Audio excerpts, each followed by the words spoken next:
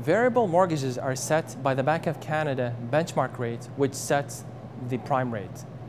As to uh, prime minus 0.5 or prime plus 0.5, that is driven by the money supply or liquidity in the market as well as credit risk. Here's what I mean. Prior to 2008 financial credit crisis, variable mortgages were offered at prime minus 0.75.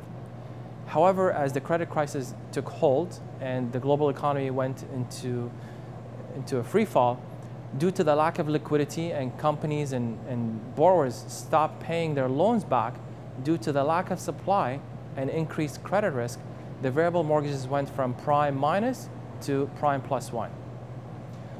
As for fixed rates, they're driven by the bond yields, which are driven by bad and good economic news. So in the case of bad, bad news, the yields are low, which uh, results in low fixed rates.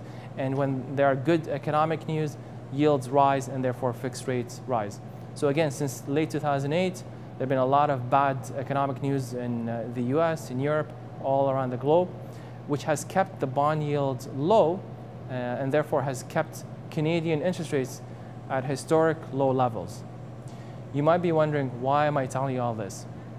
I truly believe that my clients should have a basic understanding of how mortgage rates are set when discussing strategies with their mortgage professional.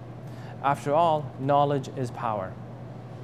To discuss your personal mortgage strategy and product, please visit my website or contact me. Thank you.